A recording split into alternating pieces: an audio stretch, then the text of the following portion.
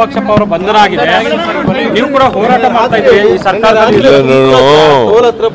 ಮಾಡಾಳ್ ವಿರೂಪಾಕ್ಷಪ್ಪನ ಬಂಧನ ಮೊದಲೇ ದಿನನೇ ಆಗಬೇಕಾಗಿತ್ತು.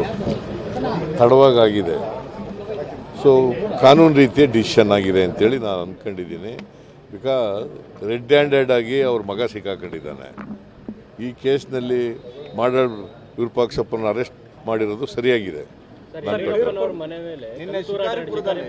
ಅದು ಯಾರು ಯಾರು ಇಲ್ಲ ಯಾರು ಬಿಜೆಪಿ ಅವ್ರದ್ದೇ ಕೈವಾಡ ಇರಬೇಕು ಅಲ್ಲಿ.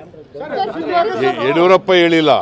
ಯಡಿಯೂರಪ್ಪ ಅವ್ರು ಹೇಳಿಲ್ಲ ಬೇರೆ ಯಡು ಯಡಿಯೂರಪ್ಪ ಹೇಳಿದ್ರೆ ನೀವು ಕೇಳಿದ್ರೆ ಹೆಂಗೆ ಹೇಳೋದು? ಯಡಿಯೂರಪ್ಪ ತಪ್ಪು ಗ್ರಹಿಕೆಯಿಂದ ಮಾಡಿದ್ದಾರೆ ಅಂತ ಹೇಳಿದ್ದಾರೆ.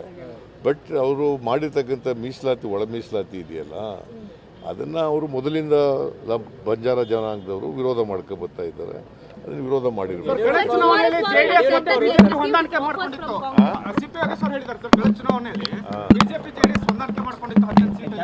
ಯಾರು ಹೇಳಿದ್ರು?